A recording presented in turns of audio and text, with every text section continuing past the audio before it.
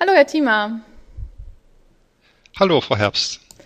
Herzlichen Glückwunsch zum dritten Platz bei der Teacher of the Year Umfrage unter den Studierenden. Sie sind an der FH Kiel und obwohl die FH Kiel erst seit einem Jahr überhaupt Online-Studiengänge anbietet, haben Sie es gleich auf den dritten Platz geschafft. Klasse. Vielleicht können Sie sich mal kurz vorstellen, insbesondere auch welche Fächer Sie unterrichten. Ja, ich äh, unterrichte Volkswirtschaftslehre an der Fachhochschule Kiel seit 1993 und äh, vertrete dabei also auch die Fächer Mikroökonomie und Makroökonomie jetzt im Online-Kurs für Volkswirtschaftslehre für BWL.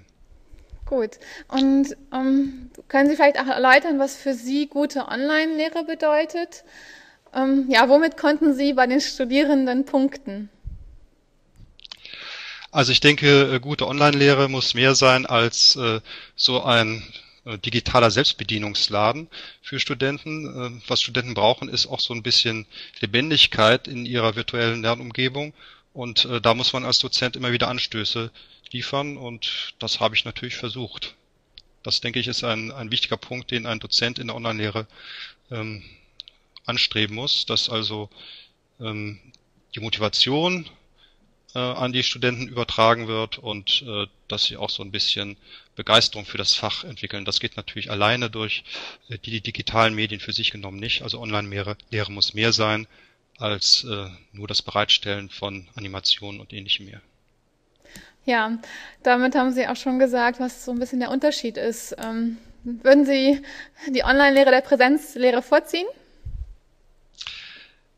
Nein, das äh, kann man so nicht sagen. Ich denke, äh, beides äh, ergänzt sich ja auch gegenseitig. Ist ja inzwischen so, dass diese Lehrformen äh, auch ähm, gleichzeitig miteinander kombiniert werden. Und äh, wir haben ja auch in unserem Online-Studiengang eine Präsenzphase. Also das wäre schon, äh, sagen wir, eine gewisse Verarmung für einen Dozenten, wenn er nur Online-Lehre macht. Äh, aber Online-Lehre ist eine spannende Angelegenheit und man erreicht damit vor allen Dingen Studierenden, die in der Präsenzlehre sonst äh, nicht zu uns kommen würden.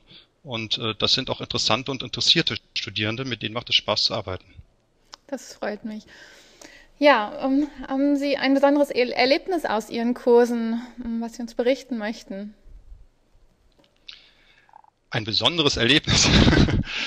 Äh, das sind eher mehr so die Kleinigkeiten, äh, die einem da auffallen, äh, was eben eine Besonderheit ist in der Online-Lehre, so wie wir sie hier äh, bei dem virtuellen äh, Fachschul, äh, Hochschulverbund haben, ist, dass die unsere Studis ja eigentlich einem persönlich auch bekannt sind und man sehr schnell auch ähm, einen persönlichen Kontakt über das Netz herstellen kann. Das ist ganz erstaunlich, damit hatte ich eigentlich nicht gerechnet. Und insofern gibt es äh, viele äh, kleine interessante Diskussionen, die man geführt hat und Gespräche über das Netz, über äh, Diskussionsforen, ähm, die sich eigentlich so im Präsenzunterricht häufig nicht ergeben, weil da seltsamerweise ich hätte nicht gedacht, die Anonymität etwas größer ist. Studenten können sich da leichter verstecken und äh, in der Online-Lehre ist äh, eigentlich die sind die Dinge mehr offengelegt. Die äh, Individualität wird dort durchaus erkannt wechselseitig. Man kommt gut ins Gespräch und äh, das ist immer wieder schön.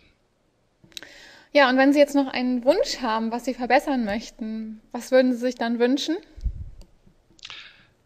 Hm, ich glaube, dazu ist äh, die Lehrerfahrung, die ich hier habe, in dem Bereich noch äh, zu kurz, um jetzt schon zu sagen, was unbedingt besser gemacht werden muss. Äh, denn ähm, da befindet man sich erst noch in so einem Sammeln von Erfahrungen. Das muss ich ehrlich zugeben. Ja, ich glaube, ähm, ich kann selbst noch einiges verbessern und äh, die Dinge sind dann noch ein bisschen im Fluss. Was vielleicht äh, ein Punkt ist, der auf alle Fälle mir eher Sorgen bereitet ist, dass Online-Lehre vielleicht von der Hochschulpolitik aufgegriffen wird, allein unter dem Aspekt der Kosteneinsparung. Und ähm, dann würde natürlich einiges von dem verloren gehen, was wir zurzeit in unserer Online-Lehre haben, nämlich eine relativ äh, kleine Gruppe, maximal 40 Studierende in so einem Kurs, mit denen man gut arbeiten kann.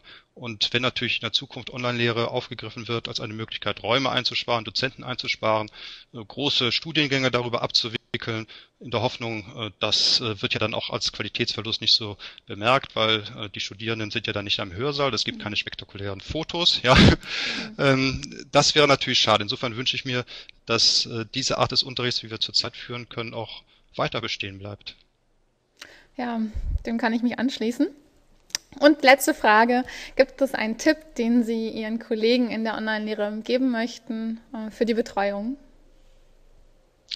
Also ich glaube, für äh, unsere Online-Studierenden ist es erstens wichtig, dass sie immer Transparenz über so einen Kurs haben von Anfang an, dass sie also gleich wissen, was sind die Anforderungen, äh, wie sind Termine, äh, wann kann ich meinen Dozenten erreichen. Die Erreichbarkeit als solches ist sowieso wichtig. Man muss sich auf die Arbeitszeiten unserer Studierenden einstellen. Das sind eben andere als bei den Präsenzstudierenden. Wir haben unsere Studierenden im Online Bereich sind eben eher abends rührig, wenn es ums Studium geht und am Wochenende. Und dazu sollte man natürlich auch als Dozent mhm. sich daraufhin einrichten. Und äh, ein weiterer wichtiger Tipp ist vielleicht, ähm, um sich die Arbeit selbst einfach zu machen und äh, nicht den Überblick zu verlieren, so weit wie möglich äh, bilateralen E-Mail-Verkehr einschränken. Also mhm. wer sich erstmal auf die Schiene begibt, äh, der äh, geht unter. Und da haben wir unter Moodle natürlich sehr schöne äh, Funktionalitäten, die einfach zu bedienen sind und äh, wo man alle möglichen Formen der asynchronen Kommunikation gut mit durchführen kann. Und natürlich auch der Synchron jetzt über diese Videokonferenzen. Das ist natürlich aber dann auch wieder ein anderes Thema. Vielen Dank, Herr Thiemer, für das Interview. Okay, ich danke auch, Fabs.